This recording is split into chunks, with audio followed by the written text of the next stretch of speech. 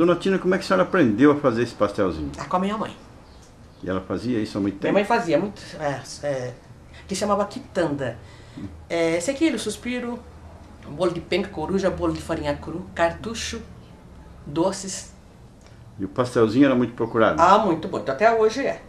E a senhora continua fazendo a Ah, receita? sim. Faço não, mas de vez em quando, porque eu faço mais pra...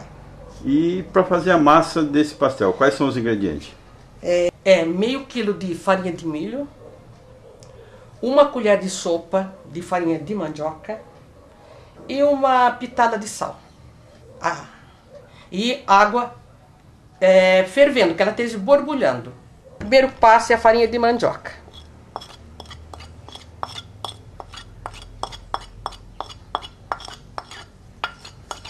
Aí mistura assim.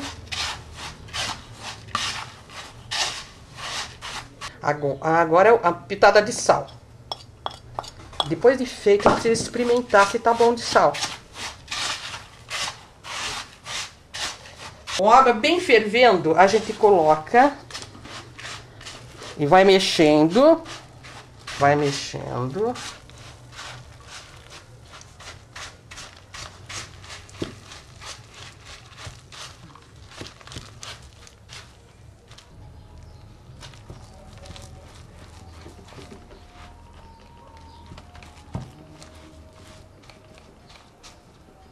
Já está bem cozido. Agora, deixa esfriar.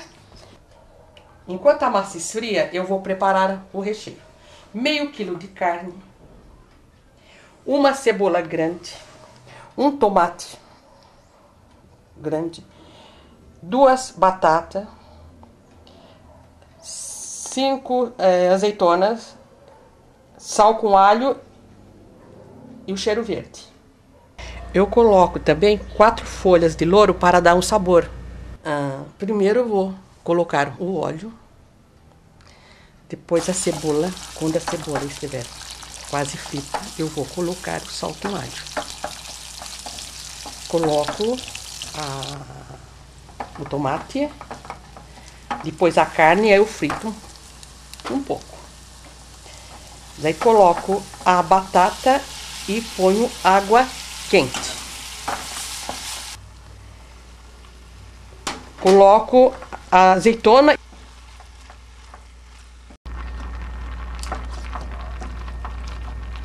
E por último, quando estiver quase seca o recheio, eu coloco a salsinha. Retiramos do fogo e deixamos esfriar a, a massa já esfriou. Agora eu vou colocar, chaguar com água fria para poder amassar.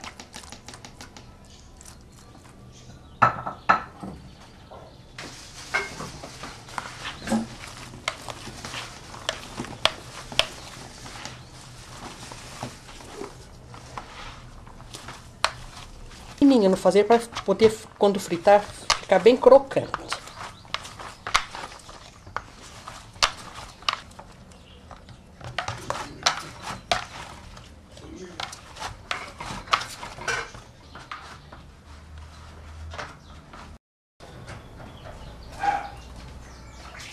Na hora de fazer os pastéisinhos, eu coloco, faço uma bolinha, só que tem que molhar na água para poder fazer o pastéis.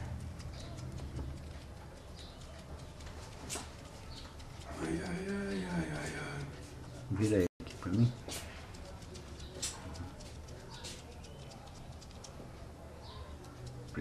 Agora coloco o recheio, torno a molhar aqui para fechar o pastéis, para poder colar.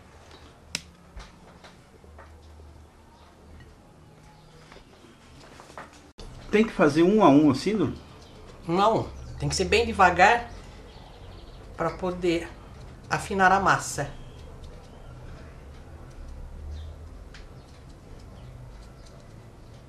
Na hora de fritar, a gordura tem que estar bem quente para não ficar encharcado.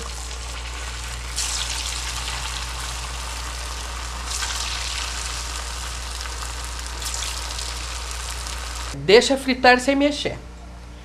Agora vou dar uma mexida para virar do outro lado. Agora ele vai torrar.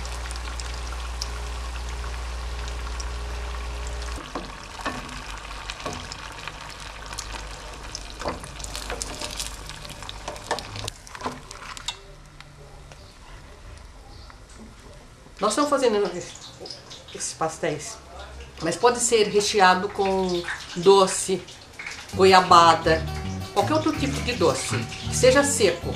Se não for seco, é, quando vai fritar, ele estoura. Tem pessoas que gostam de comer com açúcar, semi-açúcar por cima, mesmo que seja para tomar com café.